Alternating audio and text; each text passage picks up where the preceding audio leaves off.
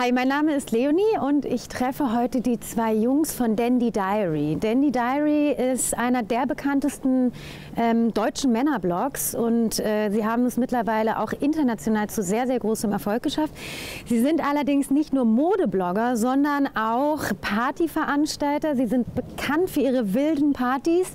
Ähm, Sex spielt dabei auch immer eine relativ große Rolle. Sie sind äh, sogar schon mal verklagt worden für einen Modeporno, den sie gedreht haben.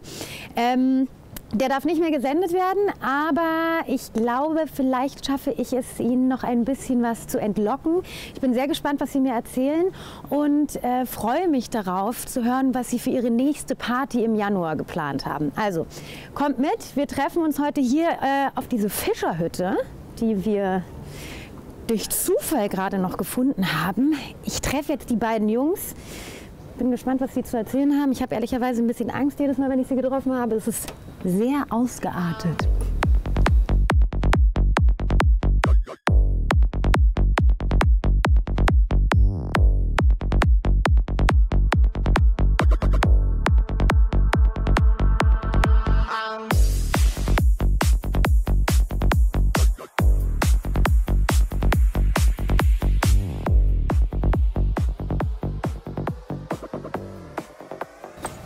So, David, Jakob, äh, Klappe die 245.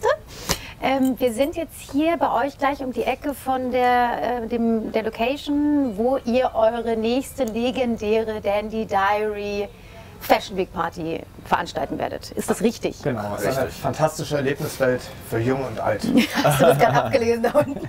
Ja, das ist der Flyer von dem ähm, von Docs, wo wir unsere Party Erzähl mal ein bisschen was über Docs. Was, ähm, warum habt ihr das ausgewählt? Es ist ein Indoor-Spielplatz ähm, und da feiern wir das dreijährige Jubiläum unseres Fastfood-Imperiums, Dandy Diner. Dandy Diner Imperium. Ja, wir haben vor drei Jahren die erste Filiale eröffnet hier in Berlin und das wollen wir feiern. Mittlerweile haben wir natürlich mehrere Filialen. Wie viele habt ihr jetzt insgesamt? Es sind mittlerweile glaube ich. 15 sogar. Also 14, ja, 15 macht jetzt auf. Also das ist aber nicht, in, äh, nicht nur in Deutschland. Wo seid ihr denn jetzt überall vertreten? Ähm, Frankreich, Rumänien. Belgien ist was.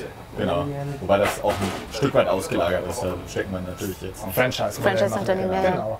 Aber wir feiern eben die dritten Geburtstag unserer ersten Filiale, was ja der Grundstein war für das Imperium, was wir dann darauf aufgebaut haben. Ja. Und das wollten wir gerne, weil es ja auch ein Kindergeburtstag ist, in einem Kinderspielparadies feiern.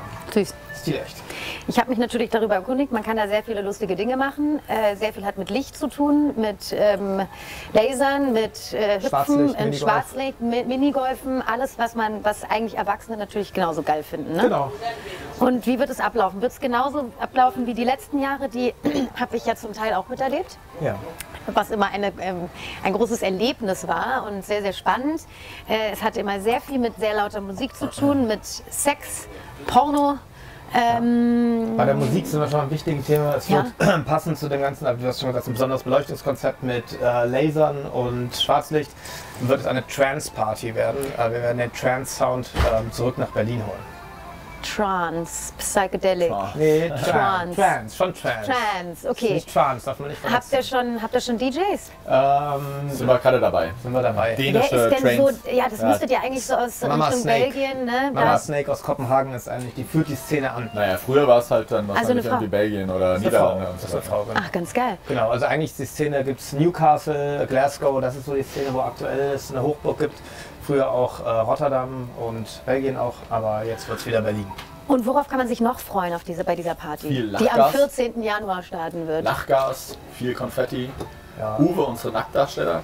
Mann. ja, nackte seinem- Leute habt ihr eigentlich immer, ne? Und kleine. Kleine. Und, äh, Kleine Uwe, und wahrscheinlich wieder äh, ein Tätowierer, der um 30 Prozent der Menschen ein bisschen zuhacken Im wird. Ja. Gesicht tätowiert. Ah, nee, wir haben kleine, schöne, große, mittlere, kranke. Es, es, ist, ja, es ist angezogene. wirklich, eure Partys sind legendär und das schon seit Jahren. Ihr habt damit vor äh, zehn Jahren angefangen, stimmt's? Eigentlich mit der Begründung auch des äh, Blogs Dandy Diary. ja. Ähm, bei euch war es generell immer so ein bisschen ähm, Punkt Aufsehen erregen, bisschen Skandal, ein bisschen mehr Sex als die anderen. Ähm, ihr habt, ich weiß gar nicht genau, wann es war. Wann habt ihr den Flitzer über die Deutsche und Gabbana Show Das muss so drei gejagt? Jahre, vier, dreieinhalb Jahre her sein. Ja.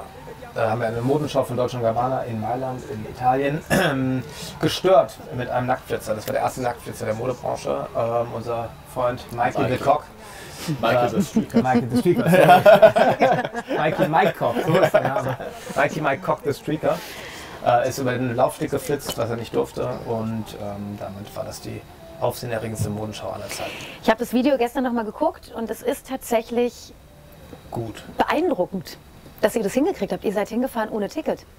Ohne Ticket, genau. Wir haben es davor ähm, lange versucht über diverse Leute, Freunde, die noch wichtiger in der Branche sind als wir, aber wir haben kein Ticket bekommen und dann sind wir am Morgen der Show hingegangen und äh, Mikey hat sich dann als äh, GQ-Redakteur ausgegeben, der Stimmt, sicher zur Show heute, ähm, kommen würde. Oder, und dann ist er so reingekommen und dann hatten wir noch ein paar Minuten Zeit, äh, bis das Spiel, die Show begann und wir hatten ja noch keinen Kameramann drin.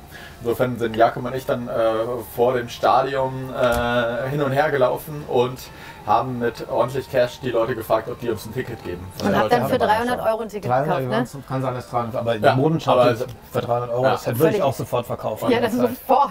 Ja, und einer hat dann gesagt, hey, so, äh, ja natürlich, hier, hast das Ticket. Und dann war der Kameramann drin und dann war der Kameramann da und Mikey war da und dann haben die sich nur einmal zugeplindet und dann, okay, jetzt machen wir es. Ihr wusstet das aber nicht. Ihr standet draußen Wir und habt es dann tatsächlich nur durch den Applaus von Richtig. der Bühne her gehört, Genau. okay, da muss was passiert sein. Wir waren dann draußen und haben eigentlich gewartet, gewartet, gewartet und irgendwann haben die Leute applaudiert und wussten, okay, Wahnsinn. es, er hat es geschafft. Ja.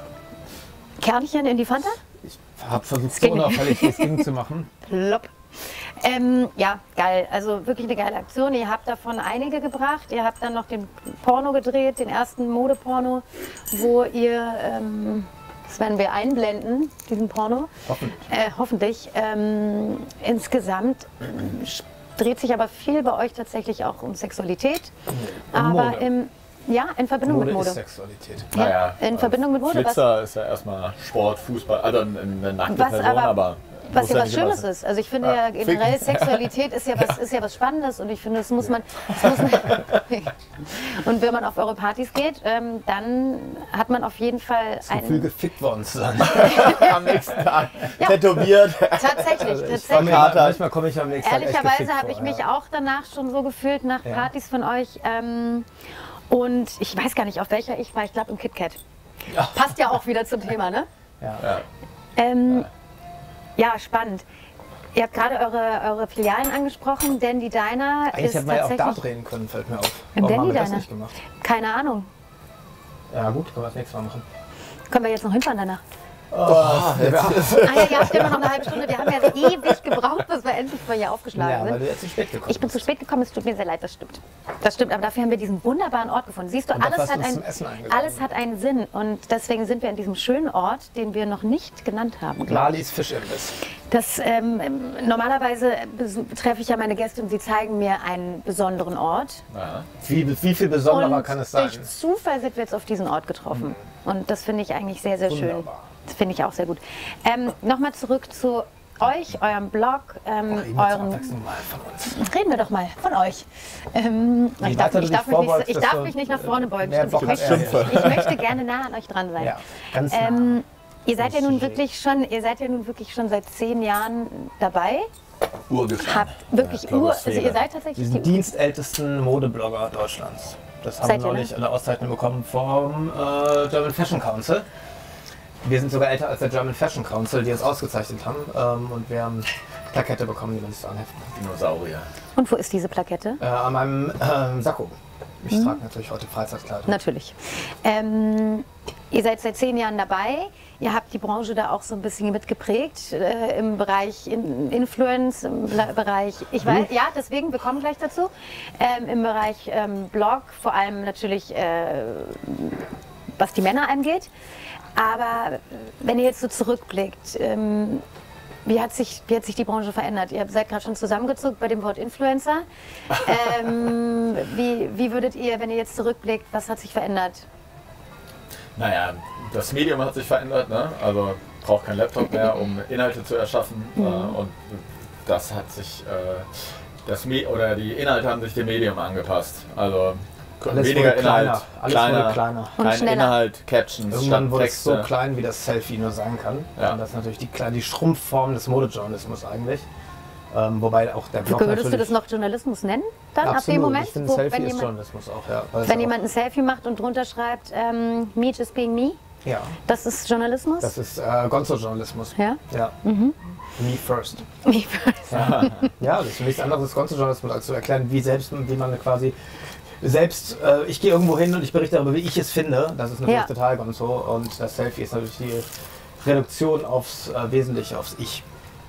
Ja, ähm, klar, ich glaube für Journalisten, die in der Redaktion sitzen und äh, Sind ja nicht ich so viele. glaube, ja eben, und dann ihren 1,50 Euro pro Absatz kassieren äh, für, einen- für, einen- für einen Beitrag oder für, Macht für halt einen- keinen Bock. Das macht halt keinen Bock und ich glaube, da kann man es auch nach, nachvollziehen, dass die irgendwann sich denken, Alter, Was denken die? die Blogger und die Aber- Influencer verdienen einfach mit einem kleinen Selfie XY Summe, wofür die wahrscheinlich 45 Beiträge schreiben müssen. sollten all die Klar, Journalisten natürlich. Influencer werden. Wenn es denn vom Außen her reicht. Wenn's aussehen. ähm, aber jetzt nochmal zurück.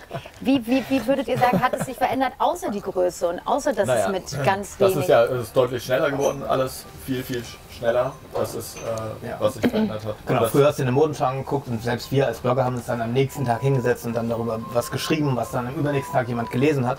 Heute, wenn du nicht sofort deine Insta-Live-Story draufhältst, ähm, interessiert es keinen äh, keinen Schwanz mehr, was da ähm, vorgestern auf der Modenschau passiert ist. Von daher, es muss ad hoc sein, es muss sozusagen quasi das quasi Live-Erlebnis sein, Ja. das du mit deinem Telefon in die Welt ähm, rausstrahlst. Was es ähm, zum einen sehr kurzweilig macht natürlich, ähm, weil klar, passiert total viel und ähm, zum anderen aber natürlich auch total stressig, ähm, weil wenn du nicht sofort das da drauf hältst und dabei bist, dann bist du nicht mehr relevant. Fühlt ihr euch gestresst durch den Lifestyle? Nein. Nee, Also dieses sagen. äh, immer ähm, on point, immer aktuell, immer Nee, dabei aber wir sein. unterwerfen uns dem ja auch gar nicht so sehr, weil Ihr wir habt gerade irgendwann- alle eure Bilder auf Instagram äh, gelöscht. Genau. Wie kommt's? Warum? War schon länger, ehrlich Ja, gesagt. ich, ja. Wa- Warum Naja, habt ihr euch dazu entschieden? Naja, weil es äh, auch das wieder eine Entscheidung, die im Grunde genommen darum geht, einfach nur, dass das aktu wirklich Aktuelle relevant ist. Mhm. Und das ist natürlich die radikalste Form davon. Und das Archiv ist natürlich eine, eine Idee von, von alten Menschen. Ähm, dass ich, ich zeige mein Familienalbum, wie es damals war. Und das äh, geschieht ja beim Instagram-Account auf eine genau Gibt ja gleiche Art und Weise. Schlimmeres, als wenn jemand sagt, guck mal, willst du mal Fotos von meinem Urlaub sehen? Und dann, ja, boah, eigentlich nicht. nichts anderes ist das Archiv von Instagram. Guck mal meine alten Beiträge von vor drei Wochen an. Nee, echt nicht. Nur Ja. doch. Man ist ja stolz so? drauf äh, Ja. auf den Scheiß, aber eigentlich interessiert es ja keinen mehr. Genau, es interessiert auch keinen außer einen selbst. Du gehst runter und schaust dir den Scheiß an, aber ähm, eigentlich ist es völlig irrelevant. Es zählt Mhm. nur das Jetzt. Ja. Und das ist die Insta-Story, die wir natürlich Da seid ihr aktiv. virtuos bespielen. Ist das generell für euch ein Thema, ähm, im Jetzt zu sein? Nee, Instagram. Ja, schon. Ähm, Im Jetzt zu sein, im Jetzt zu leben. Sich nicht Naja, zu ist sehr mit Dingen zu beschäftigen, ja. was passiert ist. Wir leben sehr im Morgen, kann man eigentlich sagen. Wir sind eigentlich aktuell. Diese Woche sind wir sehr dabei, unsere Zukunft zu planen. Ja, Ähm, erzähl mal. Was das gibt's können wir Neues? nicht so richtig erzählen, ähm, Gibt's weil, eine Tendenz? die, weil wir ja viel sehr, sehr viel Geld ist. Äh, da ist von sehr viel Geld. Sowieso wir immer sehr viel Geld. Nee, diesmal nochmal, also wir verdienen ja ohnehin schon wahnsinnig gut, aber diesmal ist es einfach, geht es um Summen, die selbst für uns ja. erschreckend Umhauen. sind. Ja, und wir sind natürlich trotzdem ein Zwei-Mann-Unternehmen und da sitzt Und- dann teilweise und denkst, äh, wow, Moment mal, das ist ja das Zittrige Hand unterschreibt Ja. man da Verträge. äh, Den aus Millionenvertrag. Versehen falsch unterschrieben und dann nochmal, können wir nochmal eine Ausfertigung haben. Also aufgeregt und dann Seid ihr aufgeregt vor dem ähm, vor, dem, Termin? vor der großen Unterschrift heute Abend, ja. Ja, schon, wirklich. Ich überlege auch, was ich anziehen soll und so. Es wird dann feierlich. im Moment. Vielleicht rot. Ich dachte an schwarz. Wenn wir rot unterschreiben.